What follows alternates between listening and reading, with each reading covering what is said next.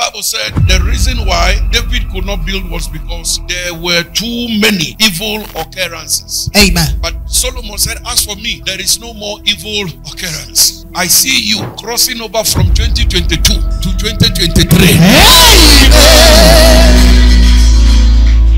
I see you Yes. living the rest of this year Yes. without ever getting hospitalized. Amen.